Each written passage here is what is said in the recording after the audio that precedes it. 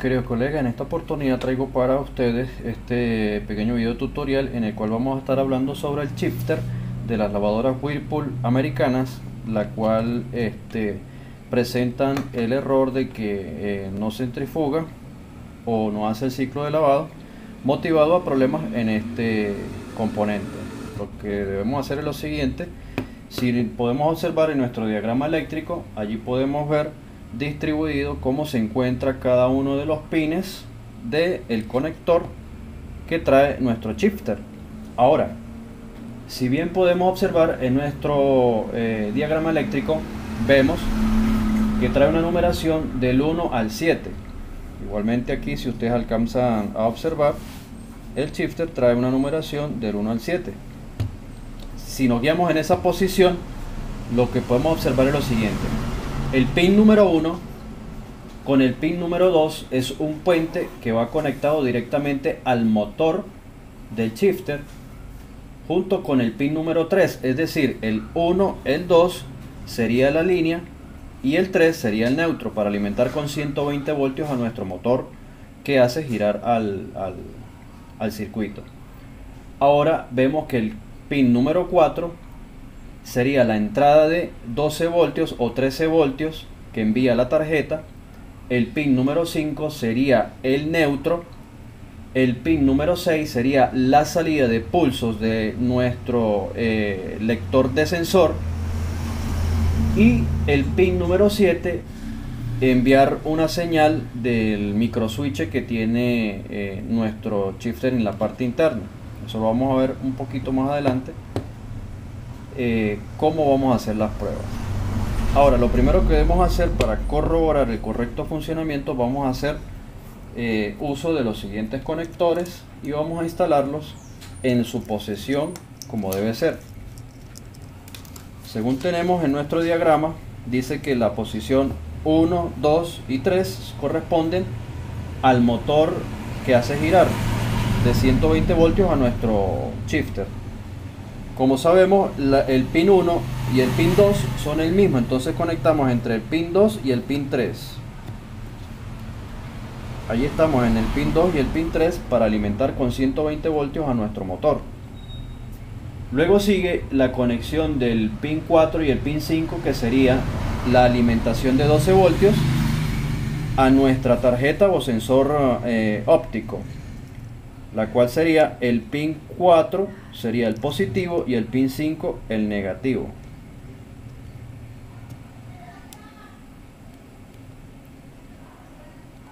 Cuatro positivo, 5 negativo. Y nuestra salida, como debemos eh, eh, observar, tenemos nuestro probador sensor de las tarjetas de las lavadoras Mave y General Electric lo vamos a usar. Ya ustedes eh, conocen perfectamente cómo está hecho este sensor. Lo vamos a usar en este eh, componente para realizar las pruebas porque recordemos que esto trabaja con 5 voltios. La tarjeta recibe 13 voltios y envía pulsos de 5 voltios hacia la tarjeta igual que el sensor de velocidad de las lavadoras Mave. Recibe 12 voltios y salen 5 voltios para alimentar al sensor o para alimentar a la, a la tarjeta y la tarjeta pues haga sus órdenes respectivas recibiendo esa señal. Como tenemos nuestro eh, probador sensor, ya el mismo lo vamos a utilizar para realizar las pruebas en este, en este componente. Entonces, recordemos que el pin número 6 corresponde a la salida de pulso. Entonces, el pin número 6 vamos a colocarlo en la salida de pulsos de nuestro eh, sensor. Recordemos que en nuestro sensor de velocidad tenemos distribuido de la siguiente manera. El positivo y el negativo para alimentar a nuestro probador. Pero recordemos que aquí eh, son eh, esta, esta sería la salida de pulsos, ¿cierto? Entonces, para que él nos funcione, lo que vamos a hacer es un puente aquí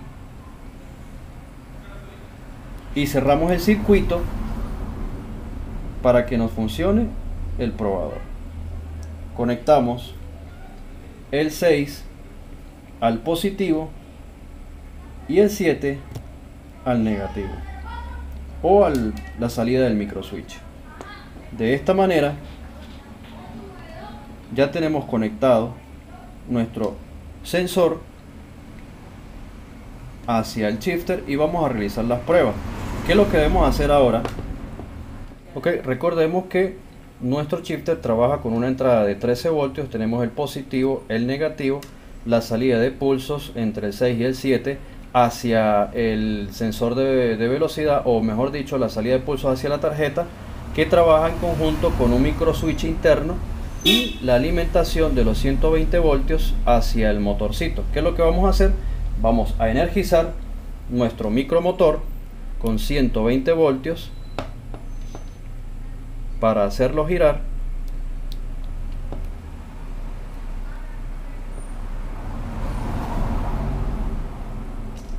energizamos nuestro eh, circuito sensor con los 12 voltios o 13 voltios el positivo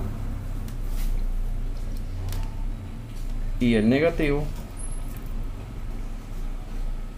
Y de esta manera ya tenemos el circuito cerrado listo para hacer para ponerlo a funcionar. Ok ahora lo que procedemos es a energizar nuestro micromotor para que haga los giros y comenzar a realizar las pruebas esta manera vemos que el micromotor comienza a girar y la palanquita comienza a abrir y cerrar para indicar la posición en que se encuentra el motorcito. De esta manera, con este probador en estas conexiones, comprobamos primero si el sensor óptico o el sensor infrarrojo está funcionando correctamente junto con el micro switch. El micro switch estará activado y yo obstaculizar el infrarrojo debe encender el bombillo. Entonces vamos a hacer vamos a obstruir el paso infrarrojo a ver si nos enciende el bombillo. Ahí estaría apagado el switch en este punto enciende el switch pero el led no, no nos enciende. Esto me puede dar a mí un indicativo de que el micro switch puede estar malo. Ahora vamos apagar. Hacemos un puente entre el pin 5 y el pin 7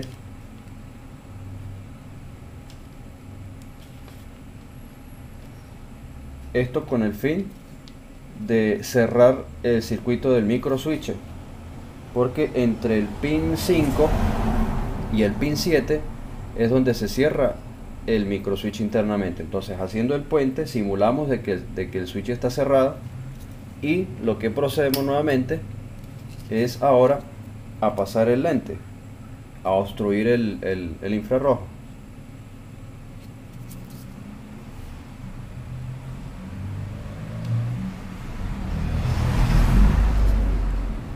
Vemos que ahora sí enciende el LED.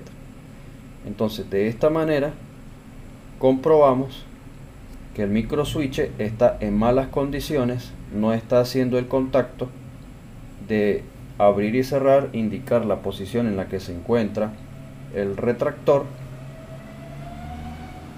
pero el sensor óptico está funcionando en correctas condiciones. ¿Por qué? Porque me está encendiendo el bombillo LED. Recordemos que este, este, este circuito funciona es con un sensor infrarrojo, muy distinto a los sensores de las lavadoras Maves, que trabajan con un sensor de, de movimiento por atracción magnética. Y este funciona es por infrarrojo, tiene un receptor infrarrojo y un diodo LED infrarrojo. De esta manera es que funciona el sensor de movimiento de estas lavadoras. Y así podemos comprobar que el diodo, el, el circuito del sensor de movimiento está trabajando correctamente. Y en este caso lo único que está averiado en este componente sería el micro switch internamente. Entonces lo que procederemos será a revisar el micro switch que normalmente en este caso, en estos componentes, es muy difícil eh, reemplazarlos porque no se consiguen. Entonces lo que vamos a proceder a hacer sería este, una adaptación al micro switch para poderlo reparar y dejar funcionando. Pero entonces podemos saber que de esta manera podemos comprobar uno que el sensor óptico esté en buenas condiciones y me enciende el LED. Estando empuentado el micro switch en el tal caso de que el micro switch estuviera bueno sin necesidad de hacer este puente y con la palanca cerrada el LED debe encender. Bien luego de realizar las pruebas correspondientes y, percatarnos de que el micro switch está en malas condiciones lo que podemos hacer es una pequeña adaptación con un micro switch como estos.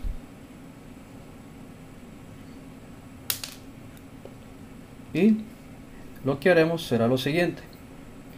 Como pueden observar aquí ya he hecho parte del trabajo. En esta sección he roto he hecho una perforación una pequeña perforación aquí para que me calce él normalmente no entra solo si no le hacemos espacio si no rompemos parte del plástico de aquí entonces rompiendo este pedazo de plástico esa es la posición como debemos de, adaptarlo allí. Luego, lo que hacemos en la palanca giratoria, lo que hacemos es, ella va en esta posición, entonces lo que va a hacer es que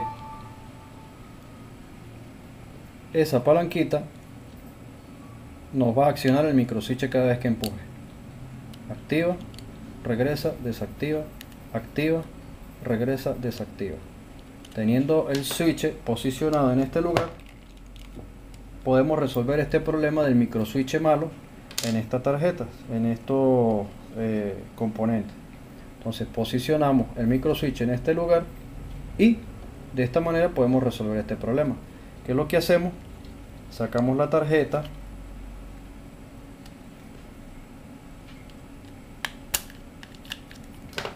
Ya he quitado el switch el micro switch que iba en esta posición.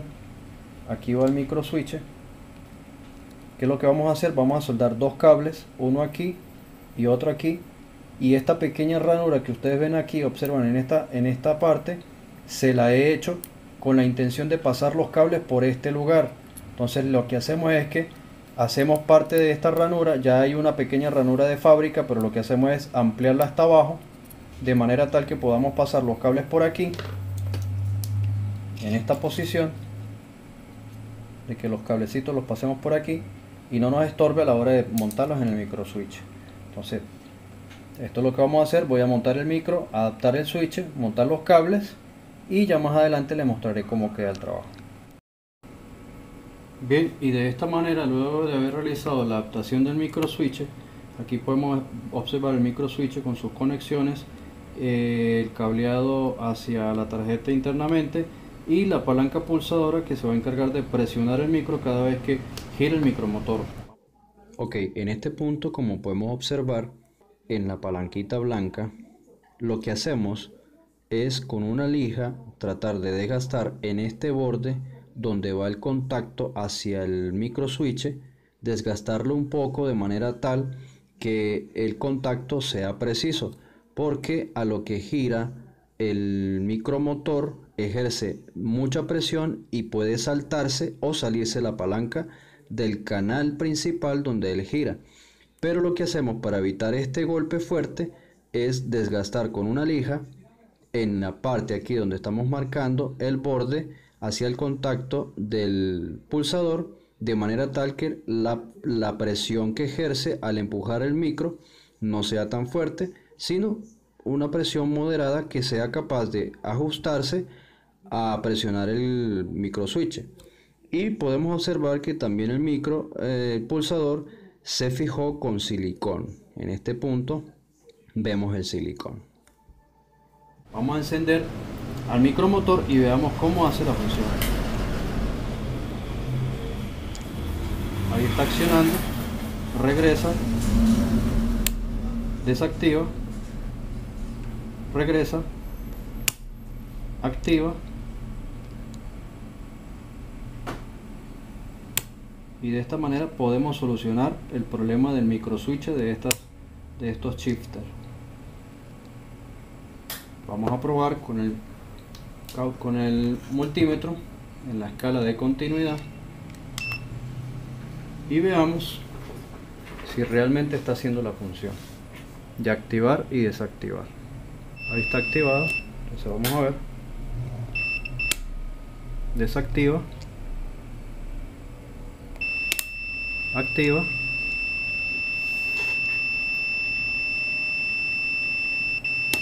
desactiva y activa